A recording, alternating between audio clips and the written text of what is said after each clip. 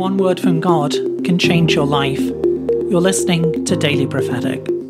I see a gate in the countryside, a gate which you need to pass through to enter along the path, to continue along the journey. Beyond the gate, I see a beautiful light that is shining, and the Lord says, Trust in me that I'm leading you through. I'm leading you through to the other side. Do not be afraid. Do not hold back in fear, but step forward in faith. Step forward into the new work that I am doing, into the new day that I am bringing.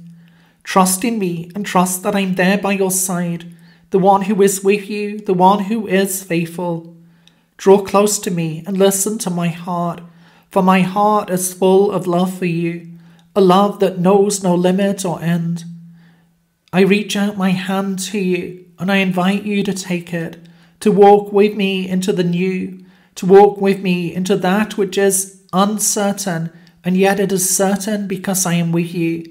It is seemingly a risk, but it is secure because I am your security.